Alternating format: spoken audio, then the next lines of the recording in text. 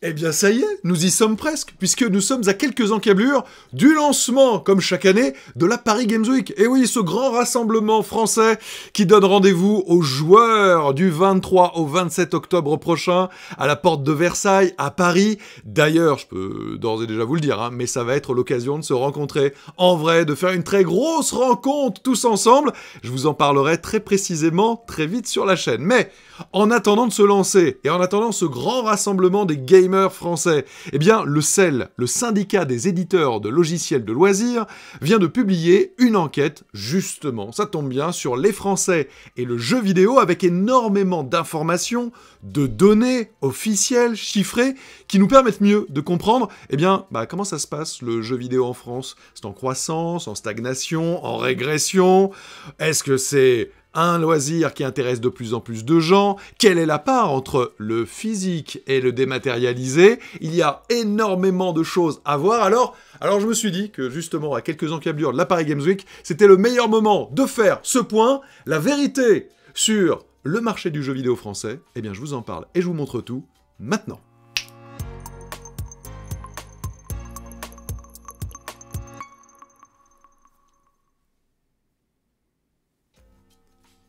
Vous allez voir, on a beaucoup de choses à découvrir ensemble, alors je vous propose sans plus tarder de commencer par la place du jeu vidéo dans l'Hexagone avec 38,3 millions de joueurs de 10 ans et plus. Alors, juste petite notion, c'est une légère régression quand même par rapport aux dernières données qui avaient été publiées par le CEL en début d'année, puisque à l'époque c'était 39,1 millions de joueurs. Mine de rien, c'est quand même quasiment un million de joueurs en moins en l'espace de quelques temps. Ça montre euh, probablement qu'il y a du reflux aussi depuis la période Covid qui a fait enfler un peu la demande, l'attractivité du jeu vidéo et qu'elle se tasse peut-être quelque peu. Cela étant, parmi les joueurs, 75% jouent au moins une fois par semaine, c'est donc pas du tout négligeable, d'autant plus que si on rentre un peu dans les détails, cela nous donne quoi? Eh bien une moyenne d'âge de 39 ans chez les hommes, de 39 ans chez les femmes, de 39 ans tout court, donc la parité est totale, avec quasiment 51% chez les hommes, 49% chez les femmes, et 70% des Français qui donc jouent au moins occasionnellement. Ça veut dire quoi? Occasionnellement Ça veut dire qu'ils ont déclaré jouer au moins une fois dans l'année aux jeux vidéo. Alors c'est très très occasionnel hein, si tu joues une seule fois dans l'année, mais on a compris l'idée. En tout cas, le temps moyen hebdomadaire est lui de 5h52. Euh, temps moyen hebdomadaire de 5h52, ça veut dire quand même qu'on y a passé quasiment une heure par jour. Hein c'est donc pas si mal que ça dans l'absolu. Alors, on continue et on rentre un petit peu là encore dans les détails avec la répartition des ventes de jeux vidéo, que ce soit en physique et dématérialisé, le tout euh, cumulé. Alors pour l'instant, ce sont les chiffres 2023, forcément, puisque l'année 2024 n'est pas encore conclue, mais on se rend compte eh bien, que les deux extrémités du spectre dominent, c'est-à-dire les jeux plutôt pour les très jeunes, les PEGI 3 et plus, et les jeux plutôt adultes 18 plus, voyez, qui sont euh, très largement tous les deux en tête. Après, il y a une sorte de ventre mou euh, global. Mais Rentrons maintenant un petit peu sur comment se porte le marché. Eh ben, le marché, l'année dernière du moins, il s'est porté extrêmement bien. Vous le voyez, 6,1 milliards d'euros générés par le gaming, avec une progression par rapport à l'année précédente, donc 2022, de 9,9% quasiment 10% de progression. C'est quand même extrêmement euh, sensible, net, et ça montre la bonne forme, bien évidemment, du gaming chez nous, dans l'hexagone, avec, euh, bah, vous allez voir, hein, une évolution relativement constante, en fait, presque linéaire, depuis 2018. Regardez, alors il y a eu ponctuellement hein, des petites baisses de temps en temps, mais en 2018 on était à 5,1 milliards, et puis ça n'a cessé de monter pour atteindre donc l'année dernière, 2023, 6 milliards. Ça va être intéressant de voir, eh bien, lorsque l'année 2024 sera euh, conclue, une année qui a été compliquée sur plein de segments, mais qui a proposé quand même aussi euh, beaucoup de jeux, eh bien, de voir comment cela va pouvoir se poursuivre ou pas. L'évolution du chiffre d'affaires en 2023, c'est une donnée qui me paraît extrêmement intéressante et importante parce qu'on entend euh, souvent sur internet un peu tout et n'importe quoi. Eh bien, on voit que le marché du jeu vidéo en France est un marché essentiellement console. Une progression de 24% pour l'écosystème console, une baisse en revanche pour euh, l'écosystème PC gaming de 8,5% et une légère hausse de l'écosystème mobile de 4,8%. Et donc, là encore, si on rentre dans le détail, eh bien on voit que le marché console est largement dominant, et ce depuis des années, mais alors que l'année dernière, il a connu vraiment une embellie très importante, alors qui se justifie aussi par les ventes hardware. Parce que après la période justement où il y avait énormément de pénurie sur les nouvelles consoles, bah, les choses se sont un peu décongestionnées euh, aussi l'année dernière, et donc ça a fait progresser un petit peu le tout. En revanche, on constate que sur les trois marchés, eh bien, le marché console est quand même supérieur à l'addition des deux autres marchés, on parle là en chiffre d'affaires, et que le marché PC aujourd'hui, en France, hein, est le plus petit marché. Alors, ça se bataille hein, avec euh, le marché mobile, mais en tout cas, regardez, 1,4 euh, milliard, 1,4 milliard, vous additionnez, ça fait 2,8 milliards. Le marché euh, console, lui, est à plus de 3 milliards. C'est donc c'est donc quand même quelque chose d'assez sensible, et donc c'est assez différent de ce que l'on entend un petit peu là encore sur les réseaux. Allez, et c'est toujours important comme ça d'avoir les chiffres, les données bien factuelles. Alors si on fait le zoom sur le marché général en France toujours, c'est ce que je vous disais, 52% pour le marché console, 24% pour le marché euh, PC, 24% pour l'écosystème mobile hein, qui se tire la bourre, on l'a vu il y, a, quelques instants. Et si on zoome un peu plus particulièrement sur ce qui constitue ces 6,1 milliards d'euros, bah c'est très éclairant de voir que globalement, on a 19% des jeux en dématérialisé console, 10% des jeux en physique console. Mais il y a des vraies subtilités. Et il va falloir zoomer plus précisément pour comprendre un petit peu ces données. Et vous verrez, on va se faire euh, vraiment une vidéo dédiée sur ce sujet parce que la répartition et l'explication des chiffres d'affaires dématérialisés et physiques sont un peu plus subtils qu'il n'y paraît. Mais en attendant, on regarde, donc le zoom justement sur le software, donc les jeux répartition du chiffre d'affaires, donc en bleu bien foncé, c'est le démat, alors là, ça comprend tout, hein. console, PC et mobile. Et forcément, vous êtes au courant, le marché console, il y a encore du physique, très clairement. Le marché PC et le marché mobile, ce sont deux marchés qui sont euh, totalement dématérialisés euh, aujourd'hui, évidemment. Et donc, le software physique, donc les jeux physiques, sur console, essentiellement, a un tout petit peu, mais un tout petit peu sur PC.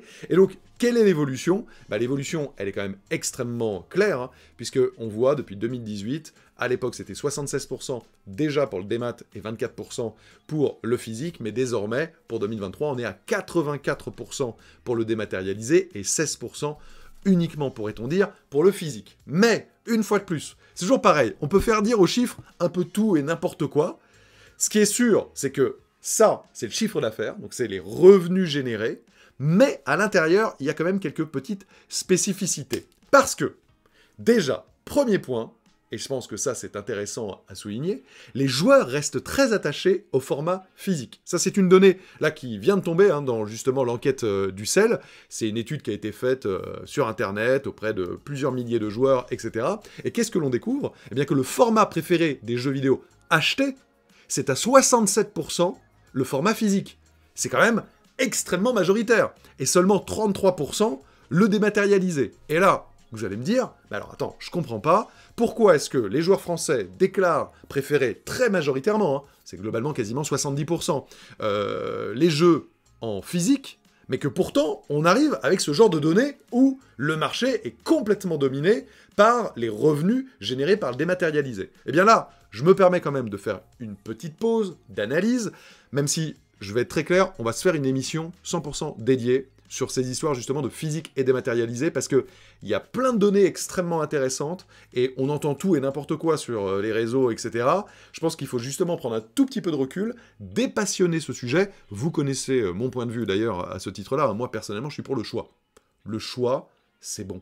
Le choix, ça fait du bien. Lorsque les joueurs, ils peuvent choisir s'ils l'ont envie de le prendre en démat, pour plein de raisons, et ceux qui veulent le prendre en physique, pour plein d'autres raisons, bah franchement, plus longtemps on pourra maintenir ça, mieux je pense que le jeu vidéo se portera. Voilà. Pour autant, il y a quand même une petite subtilité. La petite subtilité, c'est qu'il faut bien se rendre compte que déjà, quand tu additionnes trois marchés, dont deux qui sont 100% quasiment passés au dématérialisé, évidemment que tu fais monter mécaniquement la part du démat. Si les mobiles et le PC proposaient plus facilement des jeux en physique, voire même s'ils existaient hein, pour le marché mobile, probablement que certains joueurs les préféreraient les prendre en physique, et que donc mécaniquement, la part du physique progresserait. Autre point aussi qu'il faut noter, c'est que dans cette part du dématérialisé, on part bien de la part, dans l'absolu, du chiffre d'affaires, donc de l'argent généré, eh ben, on retrouve aussi beaucoup d'autres choses que juste les simples achats de jeux. On va retrouver, par exemple, euh, des achats de skins, des achats de DLC. Les DLC, tous les contenus additionnels, ils sont pas fournis en physique, ils sont fournis en dématérialisé. Et donc, forcément, ils font augmenter bah, la part du démat. Et donc tout ça, en fait, quand on prend les données, pas juste brutes, mais qu'on les précise, bah, c'est quand même assez éclairant. Mais là encore, je vous assure, on va se faire une vidéo euh, dédiée à ce sujet. Mais en tout cas, ça, c'est vraiment une nouvelle information chiffrée, euh, quantifiée, un sondage. Pareil, sur lequel on reviendra sur les raisons. Pourquoi est-ce que les Français très majoritairement préfèrent le physique. Bah vous verrez, là aussi c'est très éclairant, on va se faire cette vidéo très très rapidement sur la chaîne parce que ça me paraît quand même assez intéressant et important. Mais en attendant, c'est pas tout parce que il y a quelques données qui me paraissent très très importantes à avoir en tête aussi sur l'évolution du chiffre d'affaires donc du jeu vidéo, vous voyez en progression globalement de 10% d'une année sur l'autre, mais tous les segments ne progressent pas. Et il y a même des segments qui sont en baisse plus sensible qu'il n'y paraît. Alors pour ce faire, je vous propose qu'on zoome, parce que là on n'y voit pas euh, très très clair. Alors on va zoomer. Regardez, pac Voilà. Et qu'est-ce que l'on remarque? Eh bien, quelque chose de très important. Déjà, les jeux mobiles payants, vous voyez, c'est la première notion, d'une année sur l'autre, ils sont en baisse. Et c'est pas une si petite baisse que ça, dans l'absolu. 16 millions, on passe à 12 millions. Il y a quand même 4 millions qui sont partis, euh, c'est une part non négligeable. Autre point, streaming et jeux à la demande. C'est le deuxième aspect. Eh ben là, vous voyez encore, ça baisse. 79 millions l'année d'avant, 73 millions. C'est pas si négligeable. Mais il y a un segment qui baisse encore plus. Regardez, 229 millions et qui passe à 161 millions. C'est donc un coup de rabot qui n'est pas euh, si euh, négligeable et qui va nous intéresser quelque part pour l'avenir parce que ce segment, c'est abonnement et service. Dans abonnement et service, qu'est-ce qu'on retrouve? Évidemment, bah, par exemple le Game Pass, le PlayStation Plus, etc.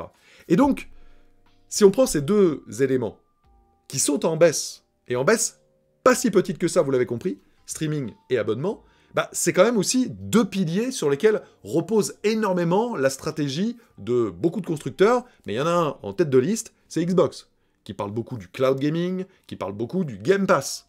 Et ben on voit qu'en France, d'une année sur l'autre, il y a un reflux vraiment pas si négligeable que ça. Et que, pour l'instant, on peut le dire, le streaming et les abonnements, ça prend pas vraiment. C'est même en baisse sensible. Donc ça, pour moi, c'est quand même important. Qu'est-ce que l'on note? Qu'est-ce qui augmente, en revanche? Eh bien, les jeux complets. Regardez, catégorie jeux complets, c'est bleu un peu plus clair. Eh bien, regardez, d'une année sur l'autre, on était à 1,2 milliard, on passe à 1,5. Donc là, par contre, c'est en progression. Les accessoires aussi, alors non, là c'est le hardware, pardon, excusez-moi. Le hardware aussi est en progression, ça peut expliquer euh, pas mal de choses, mais les contenus additionnels progressent un tout petit peu. En revanche, ils représentent le socle, c'est-à-dire la plus grosse part. Regardez, c'est vraiment pas négligeable. C'est plus que le hardware. C'est beaucoup plus que les jeux complets. Et donc, les contenus additionnels, c'est forcément du dématérialisé. De fait, en fait. Hein. Et bah, là, vous avez une partie de l'explication. Voilà. C'est la partie la plus importante du chiffre d'affaires général du gaming en France. Plus que l'achat de matériel, euh, plus que l'achat de jeux complets. Donc ça, c'est quand même un point qui me semble extrêmement important à noter. Une autre information, là encore, extrêmement éclairante, c'est que lorsque l'on prend le top 20 des éditeurs de jeux console plus PC, là, le mobile est mis de côté, euh, en valeur, donc en argent généré, eh bien, c'est très très intéressant. En numéro 1, et je veux dire, de loin, on retrouve Nintendo. La France est un pays très Nintendo. Le succès de la Nintendo Switch en France est évident et il ne se dément pas et c'est vraiment très impressionnant. Et ensuite, si on fait un petit focus constructeur, on se rend compte que donc Nintendo est en tête de tout le classement des éditeurs, que Sony Interactive Entertainment, donc PlayStation, n'est que sixième, et qu'il faut aller en 16e position pour retrouver Microsoft. Donc, chez les constructeurs, il y a une différence phénoménale entre un Nintendo qui domine de la tête et des épaules en France, un PlayStation qui est, on va dire, dans le wagon euh, de tête, sixième, presque dans le top 5, mais quand même bien décroché par rapport à Nintendo. Puis alors Microsoft très très loin. Après, il y a une subtilité quand même, puisque vous savez que ces dernières années, Microsoft a fait de nombreux rachats. Justement, vous allez comprendre leur importance stratégique. Parce que si on remonte, bah, Activision Blizzard, désormais, c'est Xbox. Et là, par contre, ils sont troisième. Et puis ensuite, si on descend un peu, Bethesda, 14e, là aussi, racheté par Xbox. Donc quelque part, si on veut avoir la part du constructeur Xbox en tant qu'éditeur, évidemment les filiales restent euh, séparées, mais globalement l'argent retourne du côté de chez Microsoft, eh bien ce serait l'addition de Microsoft, de Bethesda. Alors vous le voyez à la fois hein, quand même, hein. ça fait pas un différentiel phénoménal parce que Bethesda et Microsoft c'est à peu près la même valeur. En revanche, Activision Blizzard c'est beaucoup plus gros. Et donc, bah, de fait, en fait, Xbox et troisième. Regardez, mécaniquement, puisque Activision est là-haut, je ne pense pas que l'addition euh, en valeur de Microsoft et de Bethesda euh, lui permette de rattraper Electronic Arts en France, mais en tout cas, très clairement, devant Sony Interactive Entertainment. De fait, puisque Activision Blizzard est déjà devant. Et puis ensuite, vous voyez, hein, sur le top 5, Nintendo, EA, Activision Blizzard, Warner Bros. Games et Ubisoft. Voilà. C'est quand même super intéressant en vérité. Je trouve ça très éclairant d'avoir les données pour pouvoir se poser et réfléchir en conscience. Mais justement, comme en plus le débat a beaucoup fait réagir ces derniers temps, je vais faire un focus sur la part du physique et du dématérialisé chez nous en France, où il faut bien avoir conscience qu'on est un marché un peu particulier quand même. Ambiance Astérix. Parce que, à travers le monde, généralement, les jeux physiques sont vendus globalement au même prix que les jeux des maths il n'y a pas vraiment de promotion au lancement, etc. Il peut y avoir des promotions après, mais pas vraiment au lancement. Alors que la France est un pays dans lequel il y a justement énormément de promotions, de prix verts, d'offres préférentielles au lancement des jeux en physique, parce qu'en fait, le jeu vidéo est un produit d'appel pour les grandes surfaces, pour beaucoup d'enseignes. Et donc, il n'est absolument pas rare, au lancement même des très gros jeux, hein, des AAA, etc., de les trouver non pas à 80 euros, comme c'est désormais souvent le prix de base et donc en démat, mais plutôt à 50 euros, 60 euh, euros, etc. Et même parfois, euh, encore mieux, euh, avec les meilleurs bons plans. Donc ça, c'est une notion qui n'est pas négligeable, et on verra justement dans les données que le CEL a fournies, est-ce que cet aspect financier est en tête de liste ou pas, vous allez voir, c'est peut-être un peu surprenant, parce que de base, il y a plein de gens qui vont dire évidemment, etc., sans oublier que, évidemment, le physique, bah, tu peux le revendre ensuite, et donc c'est quand même beaucoup plus intéressant que le démat sur ce point-là.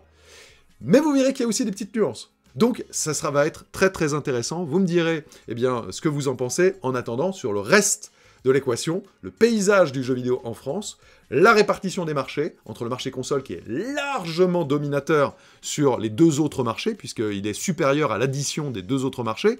Là encore, c'est intéressant, parce que souvent on entend « Ouais, mais le PC, c'est en train de cartonner, ça prend toutes les parts de marché », bah eh ben, vous avez vu que factuellement, l'année dernière, c'est le seul vrai marché qui est en baisse sensible, quasiment 10% dans l'écosystème PC gaming.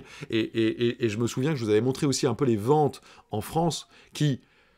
Mais je veux dire, il ne faut pas tourner autour du pot. Les ventes de jeux PC sont vraiment très très fortement inférieures aux ventes de jeux sur console. Voilà. Mais peut-être justement que parce que en France, on apprécie le jeu physique et qu'il n'y a pas de jeu physique sur PC. C'est peut-être l'une des explications aussi. En tout cas, on va se poser, on va réfléchir à tout cela, mais là je crois que vous avez d'ores et déjà beaucoup de matière à réflexion et que c'est, ma foi, extrêmement intéressant. Bah, à vous de réagir maintenant dans les commentaires, et donc on se retrouve très très très très vite pour parler hein, de physique et dématérialisé grâce aux dernières données qui nous sont partagées par le CEL. Voilà en tout cas euh, ce que je peux vous dire aujourd'hui. Bah, N'hésitez pas à mettre le petit pouce si ça vous a intéressé, à partager cette émission, si elle vous a appris des choses, etc. Parce que vous le voyez, j'essaye de vous apporter un peu, de décryptage, d'analyse et des chiffres que vous ne voyez peut-être pas euh, ailleurs pour vraiment mieux cerner l'industrie du gaming qui nous concerne, à savoir celle de l'Hexagone en France. Et puis, vous avez plein de vidéos hein, qui vous attendent en attendant dans le catalogue. Alors à très bientôt les amis, et d'ici là, Vive notre passion du jeu vidéo. Ciao